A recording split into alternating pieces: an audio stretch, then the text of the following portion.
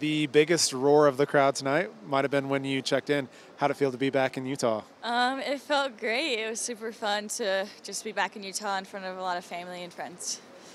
Um, you know, zero zero draw, not a win, not a loss. What needs to be better on Sunday against Colombia? Um, I just think our decisions in the final third. I think there's some shots and some opportunities that we rushed a little bit. I think we can have a little bit more patience um, and trust each other a little bit more, and just like have a little bit more bite in the final third. Talk about that ball from Lynn. What what what'd you see there? Um, which one? The one you almost scored on. Oh, the shot. That was from Trin. Trin. Yeah. um, no, it was good. Um, once when she got it, I saw that there was an opening behind the back line, so I was like, I need to run. She got it to me, um, and I just needed to get in front of the defender and a little bit better of a shot, and it would have went in. But I feel like it was a good opportunity.